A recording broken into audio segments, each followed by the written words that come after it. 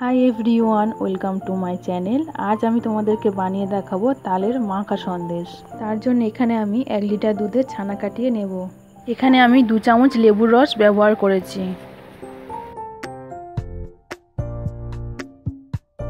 ছানাটা আমার হয়ে গেছে, এবার ছানা থেকে জলটা ঝাড়িয়ে নেব। ছানাটা থেকে জল ঝাড়িয়ে নিয়েছি, এবার ছানাটা এইভাবে হাত দিয়ে একটু ভেঙে নেব।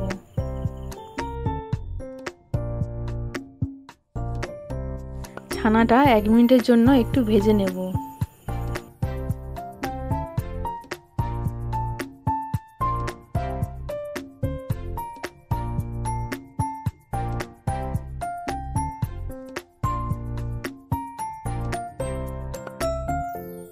এবারের মধ্যে দিয়ে দিলাম তাল। আমি এখানে চার চামচের মতন তাল ব্যবহার করেছি। আপনারা চাইলে তালের পরিমাণটা কম বেশি করতে পারেন।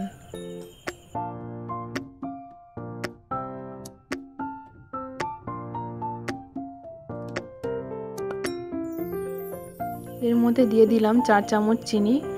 আপনারা চিনির পরিমাণটা কম বেশি এখানে ব্যবহার করতে পারেন। আমি এখানে প্রথমে চার চামচ চিনি ব্যবহার করলাম। পরে যদি মনে হয় একটু লাগবে মিষ্টি, তাহলে আমি এর মধ্যে আরও দু তিন চামচ চিনি অ্যাড করব। এর মধ্যে আমি দিয়ে দেবো হাফ চামচ এলাচ গুঁড়ো।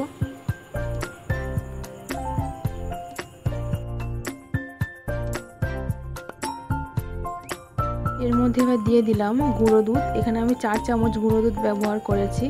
আপনারা চাইলে এখানে গুঁড়ো দুধের পরিমাণটা কম বেশি করতে পারেন।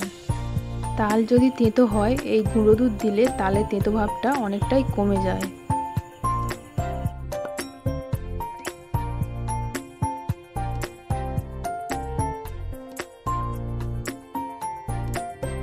এখানে আমার মিষ্টিটা একটু কম মনে হয়েছে, তাই এখানে আরও চার চামচ চিনি এর মধ্যে দিয়ে দিলাম।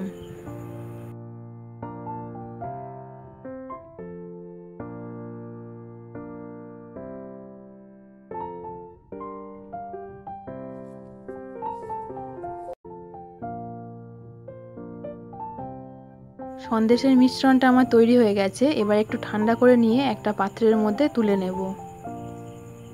আমন্ড আর পেস্তা কুচি করে নিয়েছি মিষ্টির ওপরে দেওয়ার জন্য। আর মিষ্টিগুলো এর মধ্যে, এই খামির মধ্যে দেওয়ার জন্য এরকম একটা খাম নিয়ে নিয়েছি। আপনারা চাইলে নর্মাল হাতে পাকিয়ে বা বরফির আকারে করেও এটা সার্ভ করতে পারেন। মিষ্টিটা অল্প অল্প করে এই খামের মধ্যে দিয়ে দেবো। আপনারা যতটুকু চাইবেন ততটুকু মিশ্রণই এই খামের মধ্যে দিতে পারেন।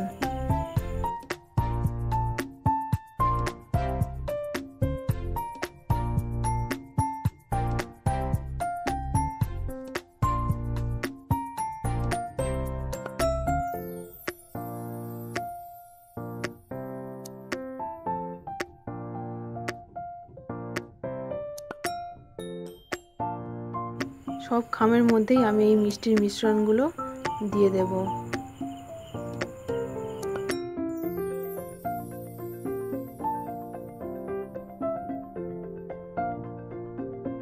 মিষ্টিগুলোর ওপর থেকে ছড়িয়ে দেব আমন্ড কুচি।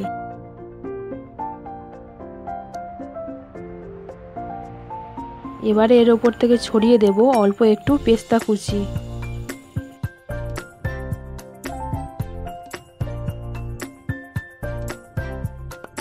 তালের মাখা সন্দেশ আমার তৈরি হয়ে গেছে।